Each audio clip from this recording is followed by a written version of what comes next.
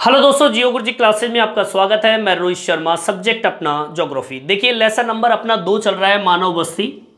मानव बस्ती में हमने पिछले वीडियो में पढ़ा था ग्रामीण बस्ती के बारे में, जो कि मानव बस्ती के प्रकार है, सामने दिया हुआ है, ग्रामीण बस्ती और नगरीय बस्ती।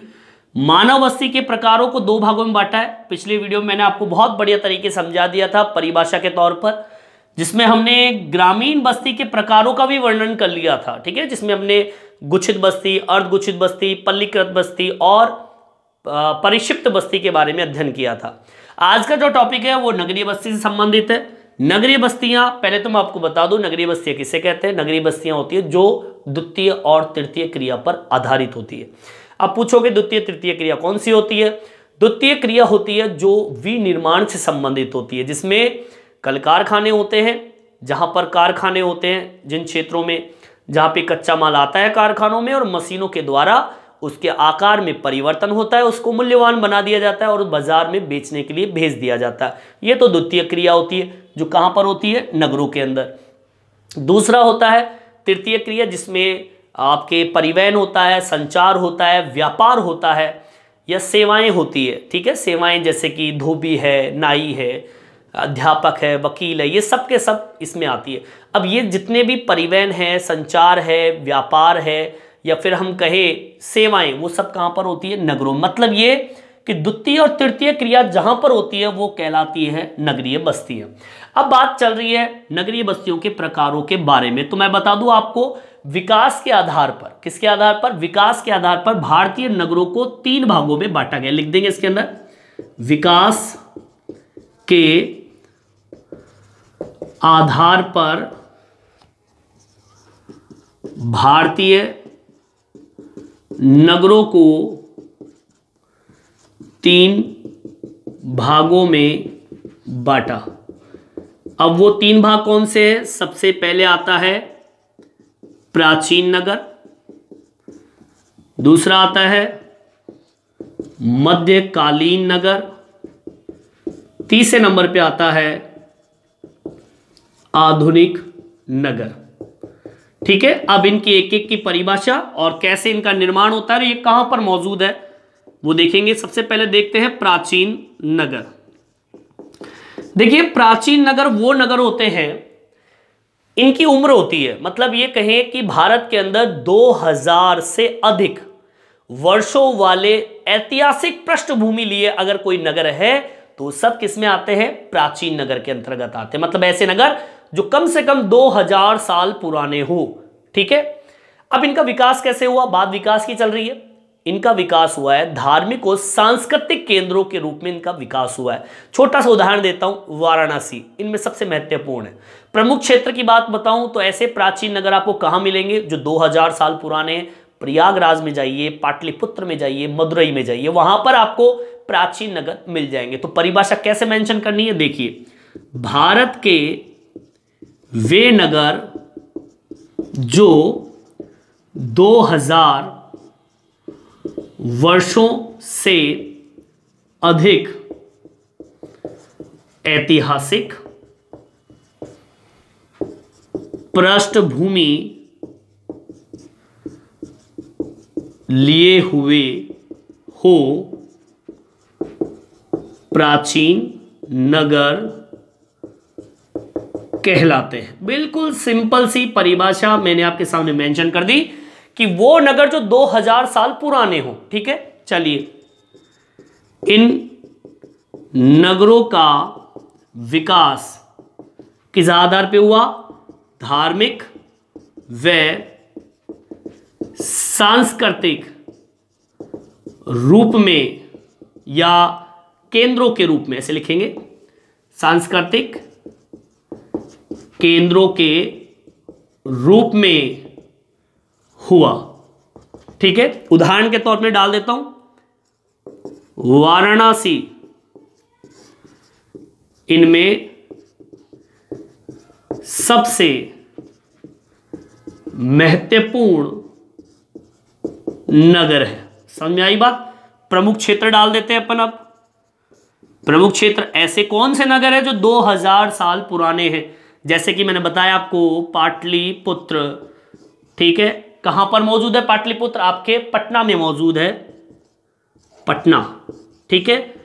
मदुरई, ठीक है? और एक और बताया मैंने आपको, प्रयागराज, जो कि इलाहाबाद में मौजूद है, ठीक है? प्रयाग, इलाहाबाद। क्लियर? समझ में आ गई बात? सीधी, सिंपल सी परिभाषा 2000 साल पुराने ऐतिहासिक पृष्ठभूमि वाले जो प्रदेश है, नगर है, वो सब प्राचीन नगर में आते हैं। धार्मिक और सांस्कृतिक केंद्रों के रूप में इनका विकास हुआ है।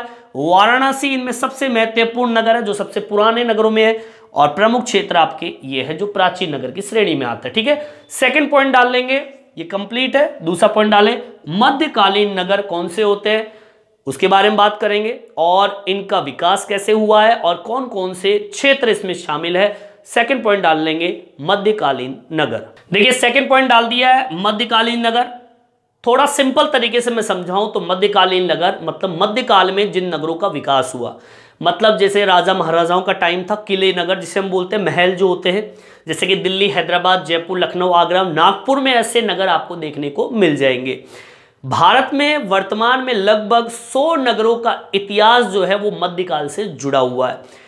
इनका विकास कैसे हुआ? रजवाड़ों और राज्यों के मुख्यालय के रूप में इन नगरों का विकास हुआ था। ये किला नगर है, किले जिसे महल होते हैं बड़े बड़े इनका निर्माण प्राचीन नगरों के खंडरों पे हुआ है। जो प्राचीन नगर थे, प्राचीन नगरों की बात की मैंने अभी उन नगर के जो खंडर थे, उन पर इन नगरों का विकास हुआ है, ठीक है?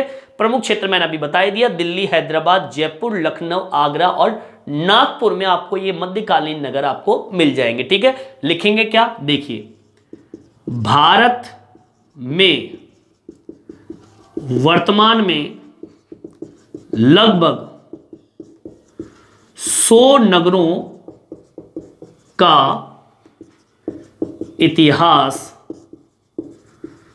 मध्यकाल से क्या है? जुड़ा है।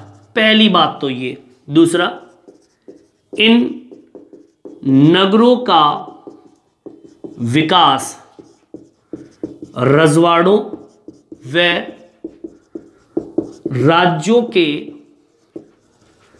मुख्यालयों के रूप में हुआ। ठीक है?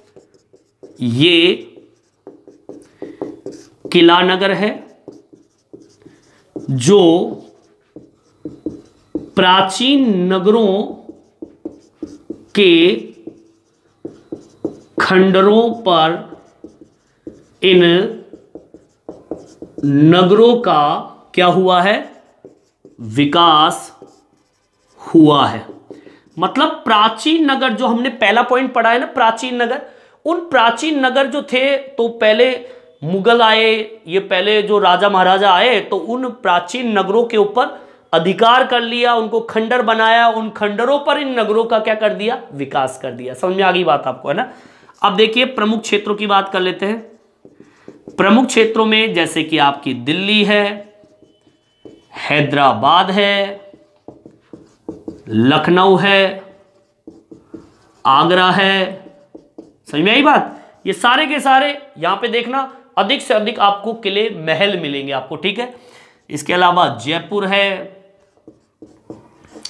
ठीक है? दिल्ली, हैदराबाद, लखनऊ, आगरा, जयपुर, ये सारे के सारे आपके, एक और डाल दीजिए, नागपुर। ठीक है? ये सब के सब मध्यकालीन नगर है। आगे बात सब में, जिनका विकास हुआ रजवाड़ों और राज्यों के मुख्यालय के रूप में। क्लियर ये आपका दूसरा बिंदु भी कंप्लीट है। अब हम बात करते हैं आधुनिक नगर की। तो आधुनिक नगर का तीसरा बिंदु आप डाल लीजिए।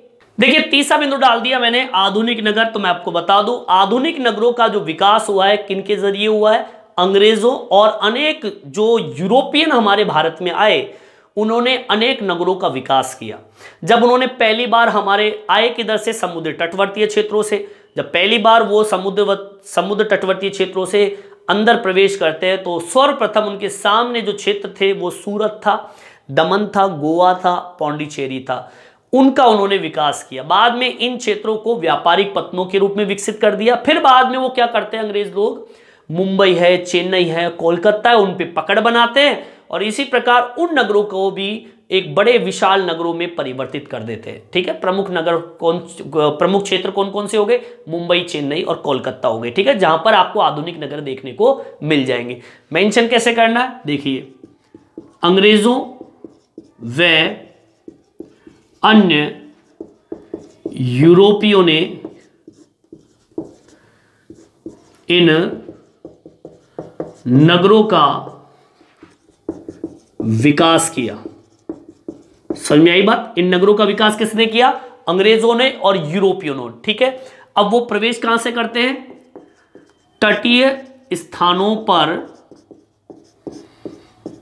पहली बार जब वे पैर रखते हैं तो दमन है, गोवा है ठीक है? सूरत है, पांडिचेरी है, को नगरों के रूप में क्या किया? विकसित किया। ठीक है? बाद में इन नगरों को बड़े व्यापारिक पतनों के रूप में क्या कर दिया? बदल दिया। ठीक है? तो मतलब सबसे पहले उन्होंने सूरत, पौंडीचेरी, दमन और गोवा जैसे क्षेत्रों को चुना और उनका नगर के रूप में बदलाव किया। फिर बाद में उनकी नज़र पड़ती है मुंबई, कोलकाता और चेन्नई पर। ठीक है? अंग्रेज़ों ने बाद में आपके मुंबई है। मुंबई को बोलते हैं क्या? बंबई। ठीक है? कोलकाता को बोलते हैं कलकत्ता। सही में आई बात? और एक क्षेत्र और आपका चेन्नई, जिसे हम बोलते हैं पुराने ज़माने में मद्रास। चेन्नई, मद्रास पर अपनी क्या बनाई? पकड़ बनाई और बड़े नगरों में विकास किया। ठीक है? इस तरीके से नगरों का विकास हुआ था अंग्रेज़ों और यूरोपियनों के माध्यम से। प्रमुख क्षेत्रों के अंदर इन तीनों बिंदुओं का डाल, नाम डाल दीजिए। जैसे कि आपका पहला तो मुंबई हो गया, फिर चेन्नई हो गया और फिर आपका कोलकाता हो गया। ठीक है तो इस तरीके से अपने ये तीन बिंदु कंप्लीट होते हैं। प्राचीन, मध्य और आधुनिक नगर। एक बार फिर से रिपीट कर रहा हूँ, दोबारा सुन लीजिए। प्राचीन नगर, वो नगर जो 2000 साल पुराने हो, धार्मिक और सांस्कृतिक केंद्रों में, केंद्रों के रूप में विकसित होते हैं। प्रयाग, पाटलिपुत्र, मदुरई प्रमुख क्षेत्र है। मध्यकालीन नगर, ऐसे भारत में सौ नगर है जो जिनका इतिहास मध्यकाल से जुड़ा हुआ है, इन नगरों का विकास हुआ था रजवाड़ों और राज्यों के मुख्यालयों के रूप में। ये किला नगर है और इनका निर्माण हुआ है प्राचीन नगरों के खंडरों पर, ठीक है? प्रमुख क्षेत्र दिल्ली, हैदराबाद, जयपुर, लखनऊ, आगरा और नागपुर। आधुनिक नगर है ये अंग्रेज़ों ने और यूरोपियनों ने भारत में आए और नगरों का विकास किया। सबसे पहले जब वो तटवर्ती क्षेत्रों से, समुद्री क्षेत्रों से अंदर प्रवेश करते हैं तो सामने सूरत, दमन, गोवा, पौंडीचेरी सामने दिखते हैं, उन नगरों का विकास करते हैं। फिर बाद में वो व्यापारिक पत्नों के रूप में उनका विकास करते हैं। फिर अंग्रेज़ लोगों ने नज़र बनाई किस पर? मुंबई पर, कोलकाता पर और चेन्नई पर। और इनको इनको भी इन नगरों में बड़े बड़े नगरों के अंदर इसको विकसित कर देते हैं। फिर इनके प्रमुख क्षेत्र मैंने बता दिए, मुंबई, चेन्नई और कोलकाता। तो इस तरीके से अपना नगरीय बस्तियों के प्रकार, प्राचीन, मध्य और आधुनिक नगर कंप्लीट होता है। इस वीडियो में इतना ही। ये वीडियो आपको कैसा लगा, कमेंट्स करके ज़रूर बताएँ और मेरे चैनल को सब्सक्राइब ज़रूर से ज़रूर करें, जिससे नए नए वीडियो आप तक पहुँचा सकूँ। धन्यवाद।